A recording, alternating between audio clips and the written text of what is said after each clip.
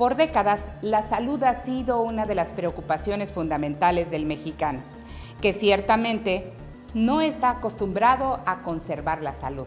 Somos desordenados en el comer y en el beber, lo que ha ocasionado que los índices de obesidad en los últimos años se disparen y que, por tanto, las enfermedades de origen metabólico hagan su aparición.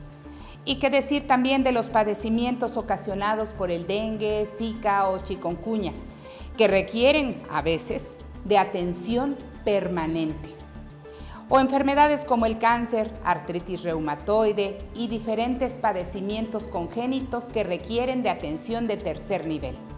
Mucho se difundió en medios de comunicación que a partir del 1 de enero del 2020, los mexicanos íbamos a terminar con las penurias de quienes tenían la necesidad de acudir a un hospital para su atención médica.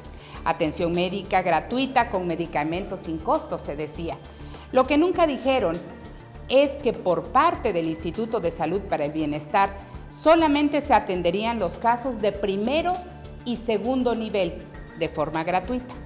No así en la atención de tercer nivel, porque ahí todo tendría un costo consultas médicas, medicamentos, hospitalización, que por si fuera poco, el costo por día de hospitalización aumentó casi en un 300%.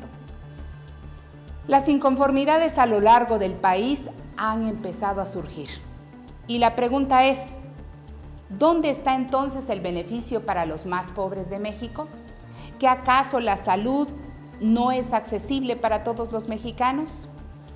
Muchos han decidido sacar a sus pacientes de los hospitales porque ni vendiendo su mano de obra o sus bienes podrían pagar los altos costos que manejan a partir del 1 de enero del 2020 los hospitales del sector salud. ¿Y qué decir de lo que ocurre en Oaxaca, en donde el Hospital de la Niñez Oaxaqueña no tiene medicamentos para atender a niños con cáncer, por ejemplo, y que a pesar de haber una larga lista de espera de niños que requieren atención, no pueden recibirlos porque desatenderían a los niños que ya llevan un progreso. Si el gobierno federal no pone atención en este rubro, por ahí puede reventar el problema, pues las manifestaciones de desaprobación en el país van en aumento. Así que mi sugerencia es, manténgase saludable, cuide su salud, porque en México sale muy caro enfermarse. Soy Rocío Aragón, hasta la próxima.